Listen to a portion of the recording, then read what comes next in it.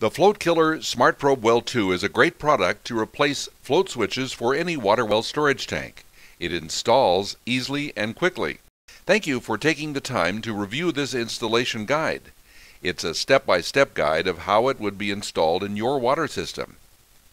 This typical water system should look like what you already have or are planning to set up. Here is your Float Killer Smart Probe Kit.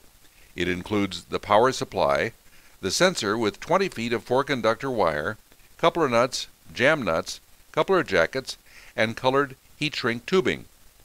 For this application you will need a Phillips and slotted screwdrivers, scissors, four stainless steel extension rods all thread quarter 20, two 3 8 inch open-ended wrenches, 2 inch bulkhead fitting, 2 inch slip by male thread coupler, a heat gun, and wire cutters.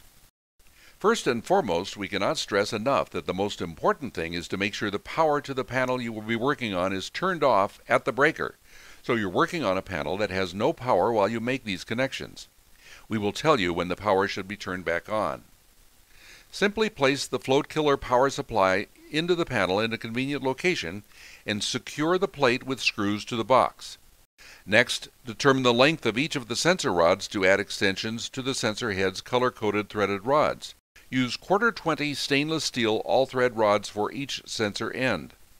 Each rod should be measured and cut to their desired length based on function. From longest to shortest, the black rod needs to be the longest. The brown rod is the low water indicator, the white rod is the fill start, and the orange rod is the fill stop. Next, you will need to apply the colored heat shrink. Remove the heat shrink from the bag, unroll one strip of heat shrink and cover over its respective rod. Add the proper colored heat shrink tubing to each, leaving about one and a half to two inches of the rod exposed on the sensor side and about one inch on the side that connects to the sensor head. Heat shrink the tubing around the all-thread rods. Attach the extensions to the respective rod by using a jam nut from the bag in the kit and twist it just below the heat shrink on the top rod of the sensor head. Next, take a coupler nut and twist it underneath the jam nut on the same rod. A second jam nut will be placed all the way onto the extension rod. Screw the rods together. Twist the bottom jam nut against the coupler. Use two wrenches to secure the coupler nut and bottom jam nut, making sure this entire assembly is tight. Repeat this process for all rod extensions. To secure this connection, add the coupler jacket over the jam and coupling nuts and heat. Shrink small enough to see the outline of nuts. Finally, add a spacer by aligning the holes of the spacer with the extension rods and slide above the bottom of the orange rod's sensor tip. Apply small heat shrink below the spacer on long rods. Do not overheat this material, otherwise the colored heat shrink will expand. When mounting the sensor, embedded in the epoxy is the circuit board that connects the sensor rods to the output wires. The rods are not directly connected to the wire connections. Drill the correct size hole through the top of the tank for a 2 inch bulkhead fitting.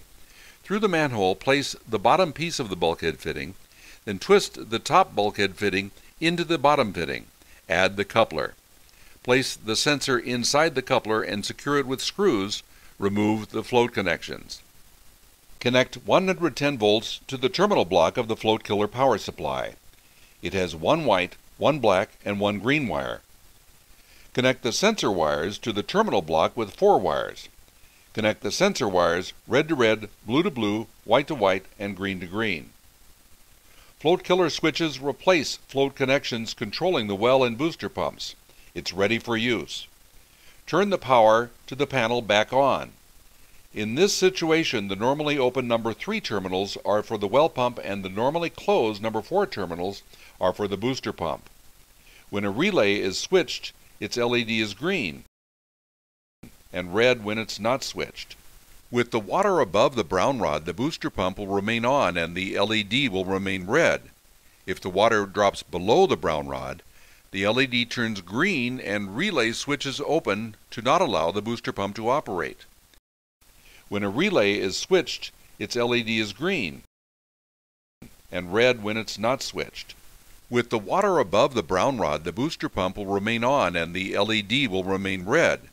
If the water drops below the brown rod, The LED turns green and relay switches open to not allow the booster pump to operate. Enjoy the float killer and its dependable performance for years to come. If you have any questions, feel free to contact our team at Water Level Controls. Thanks for watching.